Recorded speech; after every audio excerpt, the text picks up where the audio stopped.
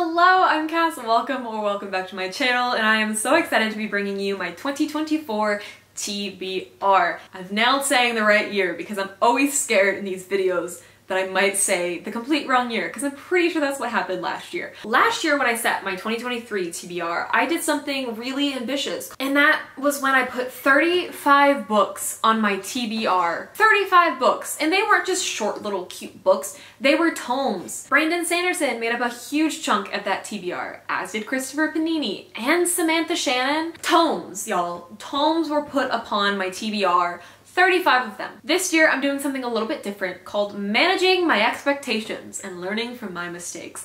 So I have 15 books on here, some in which are a little lengthy, some in which are really short, and some in which are novellas. Actually, I think there's like one novella on here. But you know, tomato tomato, it is whatever. We're, we're doing 15 books, okay? And we're gonna complete this TBR. Now, we're going to be continuing with the Brandon Sanderson train that I have been riding the high on. If you don't know, I read Brandon Sanderson for the first time last year, and I have been obsessed with reading all of his works. So we're gonna start with Yumi and the Nightmare Painter by Brandon Sanderson as the first book that I talk about on my TBR. This book apparently drew inspiration from Hikaru no Go, Your Name, and Final Fantasy, all in which are great inspirations and right up my alley. So I'm really curious to see how those elements are drawn into this book. We get to follow Nikaro, who is a nightmare painter in a world of darkness and technology. And then his opposing side is Yumi, who is a traveling Yoki Hijo, which is a priestess who can summon and control spirits. Sorry if I butchered any pronunciation, I do not speak Japanese. However, something happens to where Nikaro and Yumi's life intertwine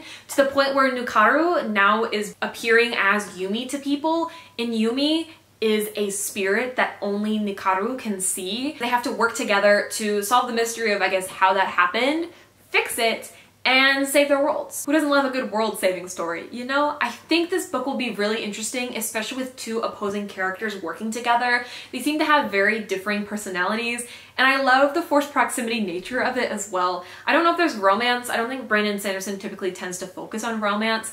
However, I just think those two characters will play off really well to create a very interesting story and Brandon Sanderson has yet to disappoint me with his magic and writing. The second book on my 2024 TBR is This Is How You Lose the Time War by Max Gladstone and Amal El-Mohtar. Now, this book follows two characters, Red and Blue, and they are both time-traveling spies who end up in correspondence with each other through letters. The concept alone has me so hooked. And the bonus part is that Red and Blue are both female protagonists and there's romance involved and apparently the prose are absolutely beautiful. I'm so excited to pick this up because I don't often pick up books by multiple authors. I think that I've been so disappointed by every Cassandra Clare book written when she writes with other authors that I tend to stray away from multiple author books. However, the concept of this book just has me so enraptured that I want to pick it up so badly. The reviews on the book definitely recommend taking this at a slower pace, which I think will be really good for me because I'm not one that's super into fancy lyrical prosy writing.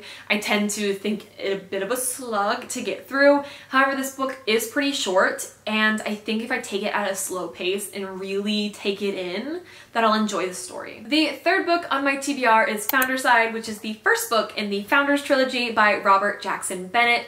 This book apparently is comparable to Brandon Sanderson and Scott Lynch. And I have obviously read Brandon Sanderson, love Brandon Sanderson, but I've also been intrigued to read Scott Lynch's work. I just haven't. So putting those two authors together makes for something called expectations, which I'm trying to lower. However, the concept of this book sounds very interesting. We're following Sancia, who is a thief who set out to steal an artifact with unimaginable power. She's joined with a group of allies who form an unlikely group. There's a heist and there's magic, and anytime there's a heist, it makes me think of Six of Crows. So putting together Brandon Sanderson with Six of Crows heist themes I think will be really interesting. Plus the covers on these books are absolutely phenomenal. I think they're so stunning, which shouldn't be something that influences my decision of whether or not to pick these up. However, it did a little bit. The fourth book on my 2024 TBR is The Adventures of Amina al-Sirafi by Shannon Chakraborty. This book takes place as a prequel to the City of Brass series, which I haven't picked up, but I do want to eventually pick up in 2024. I'm just not sure when exactly I'm going to get to it. So I'm not sure if I want to read the City of Brass trilogy first or read this book first. But regardless, I am so eager to pick up a pirate book. I love books set on boats, which is common knowledge because I've talked about it so much. We're gonna talk about it some more. I love books on boats, okay? It's so fun. I love getting to know a good pirate crew. And apparently we're following Amina obviously from the title you can tell that. And she is a pirate who was done with pirating. She hung up her hat for the last time. However, she was approached on a mission that she couldn't quite refuse because it involves helping someone that she knew and thus starts our adventure of Amina. Honestly, I have been eyeing this book for ages, literally since its release. Every time I see it in the bookstore, I pick it up, I'm like, I need to buy this book. And then I just put it back. However, next year, clearly I will be getting my hands on it because I am determined to complete my TBR. The next book is ASAP by Axie O. I love a cute little K-pop romance and this cover is literally stunning. Honestly, one of my favorite book covers to ever exist. I love the colors, I love the art style, it is simply stunning and it's really comparable to XOXO because I also adore that cover so much. We are following Sori and Nathaniel in this book, which are two characters that we got to meet in XOXO. It's a second chance romance and I love a good second chance romance and they're helping each other with scandals. Sori is a K-pop idol who has kind of reached a point where I think she doesn't want to quite be an idol and Nathaniel is already an established idol who's debuted and is pretty well known in the K-pop world. I think he's going through a bit of a scandal in this book and Sori gets to help out a little bit and I think it's just gonna be so fun and so cute. I loved Axie Oh's other K-pop romance book, which was, as I said, XOXO. I think it'll be such a fun and cute read that takes place in Korea and honestly, even if I wasn't interested in the book, the cover alone got me. It got me so good. I need it so bad. And it's releasing in February, which is like the perfect little month to read it in. I'm so excited. The next book on my TBR is House of Flame and Shadow by Sarah J Maas. This is, of course, the third book in the Crescent City trilogy. Is it a trilogy? I feel like it's more, but I'm not quite sure the length of Crescent City. However, I'm very excited to pick this up because the way that the second book ended is absolutely bonkers and we need resolution, but also I'm just really intrigued to see where Sarah J Maas goes with what she's doing. I am all for not spoiling things on this channel, so I'm not really going to speak about this book at all other than saying I'm very excited. I do want to read Crescent City 1 and 2, however I'm not sure if I'm gonna have time in January to pick up those books, which worries me because I need to read Crescent City 3 the second it comes out because I'll be piecing out on all social media platforms to avoid spoilers because this is a very, very anticipated read for me and knowing Sarah J Maas there's gonna be even more plot twists and I don't want to be spoiled for anything. The seventh book on my TBR is A Curious Beginning by Veronica Speedwell. No. I'm sorry. This is the first book in the Veronica Speedwell series and it's written by Deanna Raybourn. I'm so sorry to dismiss Deanna Raybourn like that. Veronica Speedwell did not write this series, she did. This series was actually recommended by quite a few people because I had read Stalking Jack the Ripper last year and really enjoyed the historical romance aspect of it and apparently the series is comparable to that. It takes place in London back in 1887 following Veronica who ends up kind of being a free spirit until she's almost abducted by someone and then placed in the care of Stoker, who I know is her little love interest. And it seems very forced proximity and I really love that aspect in the Stalking Jack the Ripper series where Thomas Cresswell and Audrey Rose were kind of forced to work together. I think that's a really fun dynamic, especially in a historical setting. I'm really excited to dive into an adult historical romance versus like the YA that I've read so far. I love historical romance flirting because it's like their knuckles brush and you're like, oh my gosh, their knuckles brushed. It's quite a long series. I think there's like eight or nine books already out. So it's kind of a commitment, but I think I'll low-key commit and slowly work my way through the series throughout the year. I don't know if I'm gonna binge it. Maybe I will, no promises, but I'm excited regardless. The next book is Not in Love by Ali Hazelwood. I have accepted that I am an Ali Hazelwood girly. Okay, and I have been since 2021 and we're going strong reading every new release by her because she just gets me. I love being the head of smart, intellectual, female main characters, especially in STEM fields because being a college dropout myself, I didn't get to really experience the college STEM life.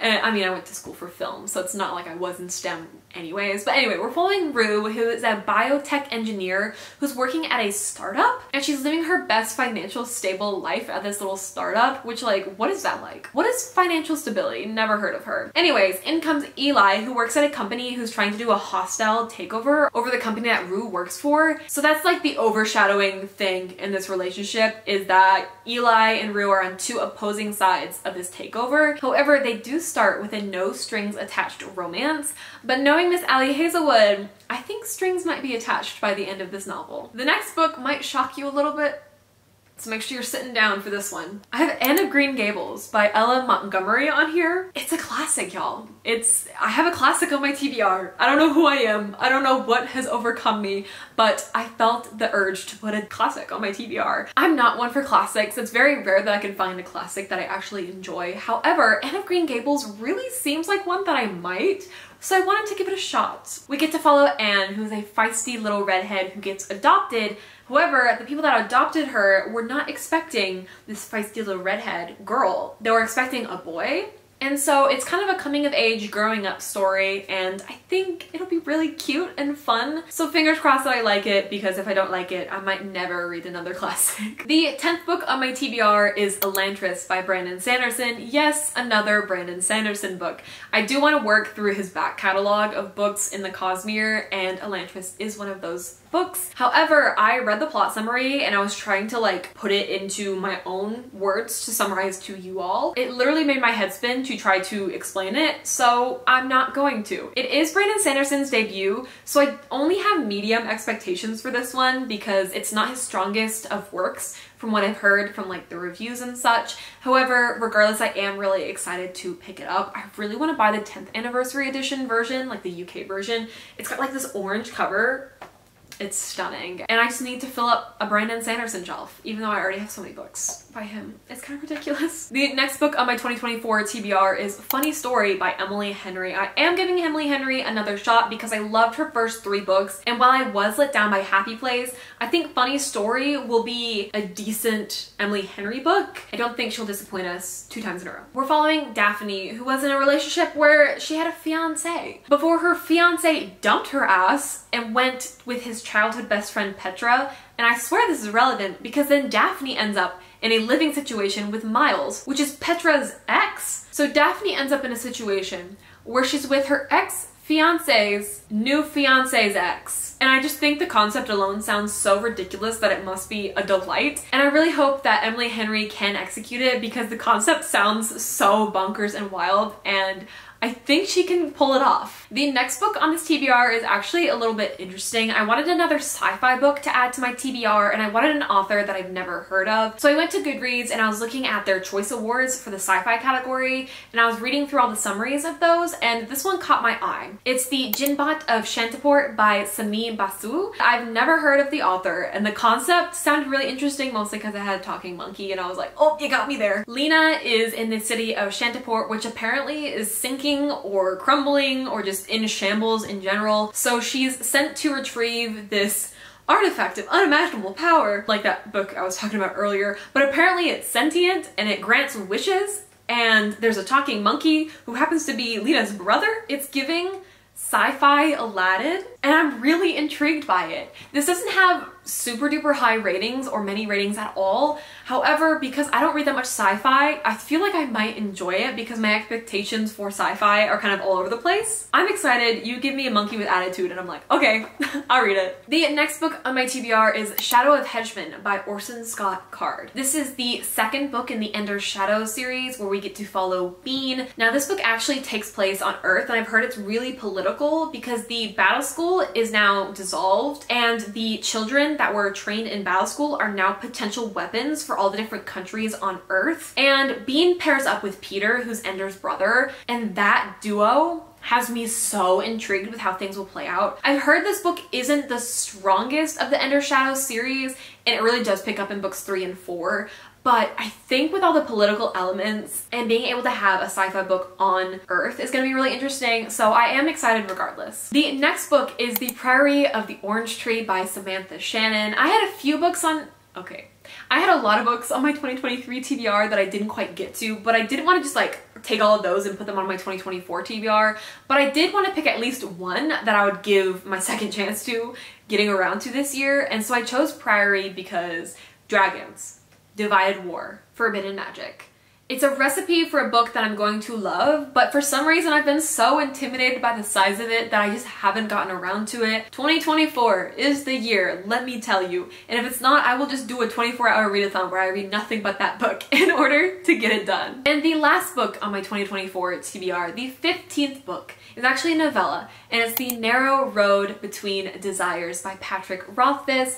This is a novella that follows the character Bast from The Name of the Wind Chronicles. I know there's a whole situation with Patrick Rothfuss not releasing the third book and instead releasing novellas. I'm still going to pick this up because um, I'm a sucker for his writing, what can I say? I can't really talk too much about this book because it reveals things about Bast that you find out during the course of reading The Name of the Wind. I only really have medium expectations for this book because I didn't really enjoy Patrick Rothfuss's other novella, which was The Slow Regard of Silent Things, that followed Auri and it felt very boring. However, Bast is a much more interesting character, in my opinion, than Auri and has a lot more potential to explore things that we haven't yet. I know this is just a rewrite of The Lightning Tree and kind of a cop-out for a new release by Rothfuss. However, you can't stop my excitement, so it's on my list. I spent a ridiculously long time crafting my TBR for this year. I spent so many hours scrolling through Goodreads and narrowing down my choices. So I really hope that some of these are intriguing enough for you all to pick up as well. Hopefully you got some good book recs out of this. And thank you all so much for watching and I do hope to see you in the next one.